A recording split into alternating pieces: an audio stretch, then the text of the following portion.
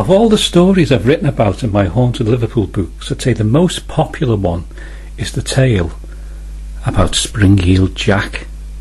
When I was a little kid, I used to sit and listen to my grandmother's stories about the old days of Liverpool. And one day we were sitting in front of the fire when she happened to mention a very strange story about a real-life bogeyman who'd been seen by scores of people, not only in Liverpool, but in London and many other cities and towns as well. And this bogeyman was known as Spring-Heeled Jack. My grandmother Elizabeth Slemen actually saw Spring-Heeled Jack in the 1880s when she was just a little girl. Elizabeth had been attending Sunday school one evening in October and had glanced out the window to see a shadowy figure running along a road in Everton near St Francis Xavier's Church. Now, this silhouetted figure jumped into the air and he seemed to fly upwards. The teacher of the class also saw him and later that night several other people saw the figure of a man come down off a roof and land on the pavement without suffering uh, any apparent harm. The same mysterious figure was seen falling from the steeple of St Francis Xavier in December of that year, and he landed with a thump in the snow, but he didn't appear to be armed after falling about a hundred feet from the church spire.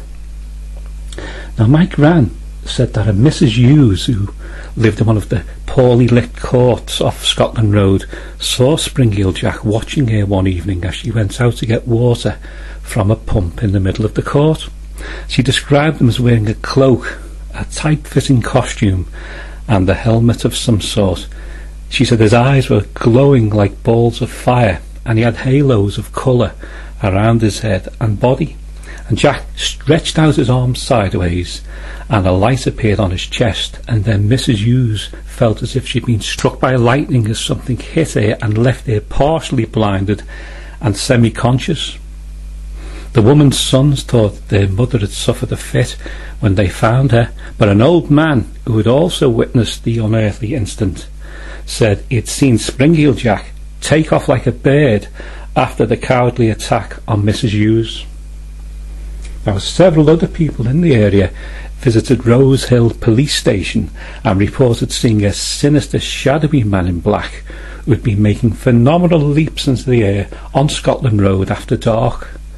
Well, the police didn't take any notice of these reports at first, but there later came apocryphal stories of Spring-Heeled Jack attacking police officers across the city from Great Ormond Street to the Wavertree High Street, where the jumping man spat some sort of luminous gas into the faces of the lawmen, making a mockery of them in front of terrified citizens.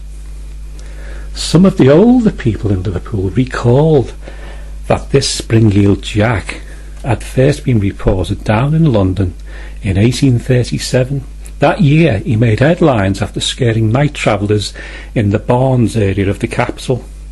Then one night in 1837, it looked as if Jumping Jack had finally been caught. It started with the frantic hammering on the front door of the Alsop family home in the district of Bow. A young teenager named Jane Alsop answered the door and she saw a policeman standing in the fog and shadows. Bring a light! We've caught Spring-Heeled Jack down the lane here, the policeman said. Now Jane had read all about Spring-Heeled Jack in the newspapers and she said, Yes, sir. And she rushed back into the house to grab a candle she'd been reading a book by. She reached out, offering the candle to the policeman. And by the light of that candle she saw to her horror that it was Spring-Heeled Jack wearing a policeman's helmet, uniform and cloak. Jack had robbed the uniform from a policeman he had ambushed the night before.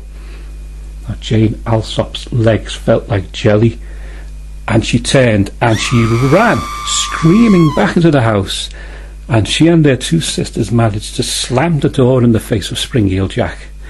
And then they heard him claw the door, and he laughed hysterically before vanishing into the mists of the night. Who was Spring-Heeled Jack? Many theories have been put forward over the years, and I have researched the case for some time now. And if you want to know more about the Leaping Terror, you can read all about his further antics in my haunted Liverpool books. I wonder if Jack will ever return.